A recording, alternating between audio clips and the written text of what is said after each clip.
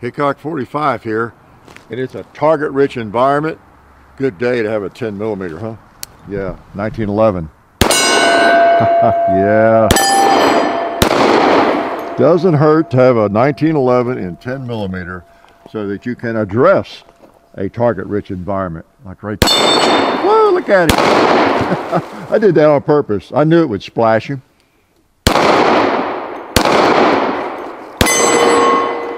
Pretty nice. Let's just wake up the gong with the last round. How did I know? Did I count my rounds? Not really. Yeah, this is the Ronin, the uh, Ronin operator Springfield Armory in 10 millimeter, relatively new as you're watching this and as I'm shooting it. This is, yeah, the Ronin operator. It's the uh, uh, Springfield Armory Ronin in 10 millimeter, and so far I've shot it a fair amount, not too much. You know, no one has an overabundance of ammo, of course, these days, but uh, I, it has not malfunctioned yet, and it is a sweet shooter. You know, it's got plenty of heft to it. You know, it's got a forged uh, stainless frame, a forged steel slide, and cold hammer forged barrel. It, it's uh, what you would consider generally a quality 1911, I think, and uh, I think it just MSRP is like 850 bucks. So I'm not sure what you could actually get it for, probably around eight. But well, I don't know. We're in uh, you know firearms Armageddon right now, but uh, in in normal times, it's uh, very reasonably priced for what it is. Seems to me. Okay, so so those were some just standard 10 millimeter. I've got some uh, gold dots loaded up over here in the third magazine. So let's try these. These are defensive gold dot. All right. And I saved a two liter with a gold dot.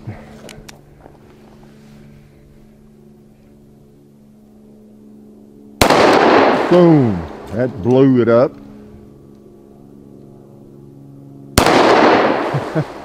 nice. I'm going to take out a buffalo with this gold dot. I think it's uh, it's what the pioneers used, wasn't it? Speer Gold Dot, Federal Premium. Yeah, see, works. How about a ram? Yep. Uh, got a pig. Scared the pig down. If those had not been hollow points, probably wouldn't have gotten them, right? But it killed them. Just enough expansion. And if you believe that, you must be new to shooting. Let's uh, let's put another one of these on the gong. All right, try that big old square, ugly red plate.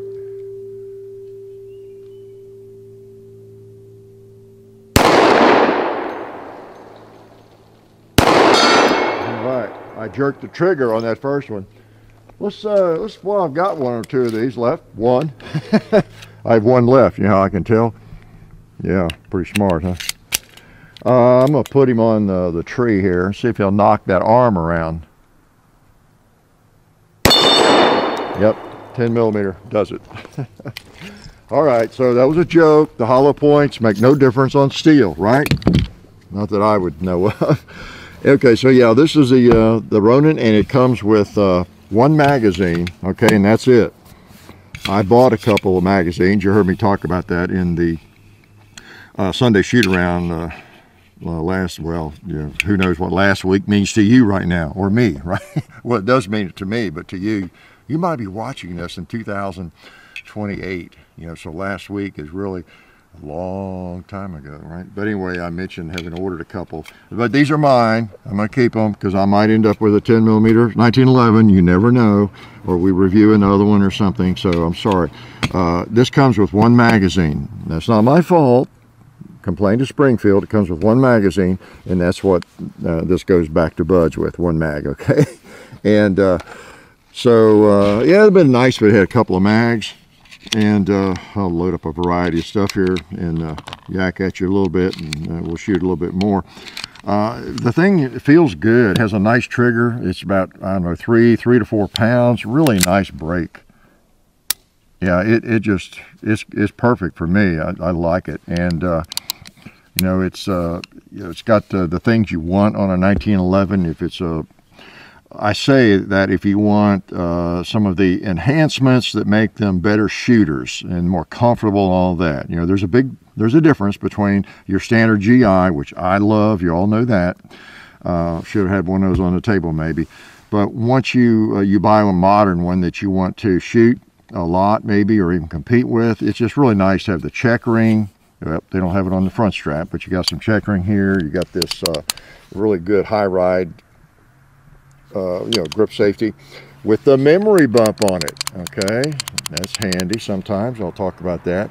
And it does not have ambi safeties, which of course I prefer. Uh, the other one's just in my way. And if I get disabled in this arm or something, and I have to finish out the gunfight with, with my left hand, I think I can figure out how to get the safety off. Yeah, I think I can.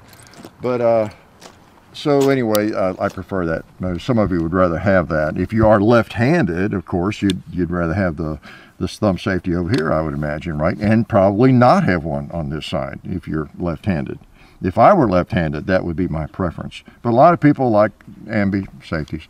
Um, so the memory bump, now the memory bump, again, I think I've explained this to y'all once or twice before. If you have large hands, that is really a nice feature because if you like to lay your hand up on the safety, you're in a potential combat situation, you got your hand up there ready to pop that safety off, you pop it off and have to shoot, well, if you have that memory bump, it's more likely to disengage the safety. For me, as you heard me talk about recently with, maybe recently with uh, the Dan Wesson Vigil, I think it was, uh, I don't, uh, it doesn't have the memory bump. And if I lay my thumb up on the safety like that and I want to shoot it, just pop it off and bang without moving my thumb, it, it, it won't always disengage the safety. So that extra little bump there helps a lot with me. So uh, I just spent 12 minutes talking about that, sorry. So yeah, nice trigger. It's, it seems well made. It's a pretty gun. It's very purty, isn't it? You got your serrations, your front serrations, which I rarely use. I I, big old hands like mine, I just don't like to have them out there around in front of the muzzle that much. A lot of people, you can do it. I just, I just grab it back here, however I'm to do it, mostly. But you do have the front serrations. You do not have front serrations. Well, it'd be nice if it had serrations there. Of course, what do you want for 800 bucks? You know, that's a, that doesn't, uh, checkering doesn't come uh, cheap. Uh, you know, just a pretty nice gun. It, it, really, I'm impressed because a Colt and, and uh, numerous others are going to cost more than this. This is 10 millimeter. Wow. Got your three dot kind of sights, fiber optic up there and your little shelf there for your tactical, you know, operation if you need to. So just a pretty nice gun, uh, 1911 and 10, 10 millimeter. This sort of configuration, as I've said before, it's, it's kind of an ideal configuration for a firearm that is not just a stock GI gun. If you're going to put some things on a firearm that really make it a, a better shooter for you and feel better for you, you know, the beaver tail and uh, that kind of, the, the flat mainspring housing most people kind of like, including me. And, uh, you know, good sights. So this makes it a really good shooter. Now this, yeah, these hold nine, these ones I got from, these are Tripp Research, I think, yeah. Uh, Cobra Mag. Cobra Mag, that's where I got it, Tripp Research. But uh, it's actually a nine round mag. This is an eight round mag, okay? So, and these, I haven't shot these much, but they, uh, they seem to work okay. Seem to have the same follower or a similar follower to a Wilson Combat uh, magazine which I always like, because those are extremely reliable. Yeah.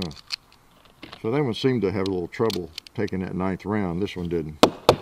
Doesn't matter. You don't get you don't get these anyway. Okay. And what did we want to load in this third one this time? Some trophy bonded. Let's put some of these babies in there. Bruisers. Okay. Now these have an interesting shaped bullet. Sometimes uh, uh, a slide. I know when I was firing some of these in rehearsal, yeah, right, re-rehearsed. Now, I fired a couple of these the other day. One of them kind of caused the slide to hang up or the slide lock. Either is that or me. It could have been just a recoil from, from them, I don't know. And I hit my thumb on the slide lock. Okay, so we'll try those too. All right, and then I won't keep you too late. Uh, mainly, again, if you know 1911s, that's what this is in 10 millimeter. And, you know, it's got the standard uh, GI uh, you know, spring and plunger and everything, which I like. I do not like, as you know, uh, full-length guide rods and all that configuration. Uh, they just are not worth the extra hassle to me at all in terms of accuracy. If they're not more accurate or something or make you shoot a whole lot better, why fool with it?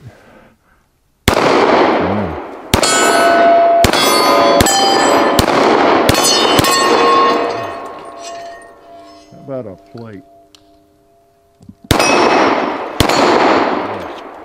Feels good. Uh, just a nice trigger, like a good feel to it. If you like 1911s at all, you would like this this pistol, I think. Uh, about a pig over there? A pig right in the middle of the field just appears to me to need a bullet. Yeah, I knew it. I knew he did. Uh-oh. These pots need a little smoking too.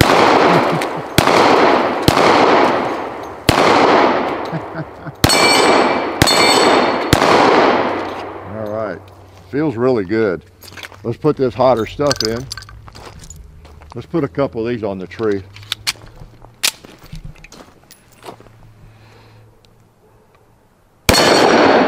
Oh yeah, so I either hit the slide lock or that bullet design. I'll make sure I keep my thumb down.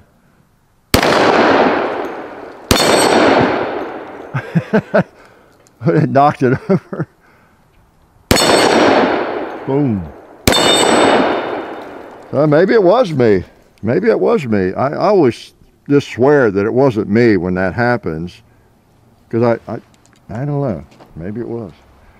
I'm going to hit the cowboy with one of these bruisers.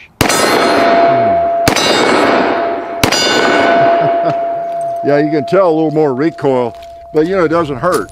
Uh, you got a nice uh, beaver tail grip, feels good, and uh, just just very very pleasant pleasant to shoot. I think you could shoot that all day with any power factor or ammo.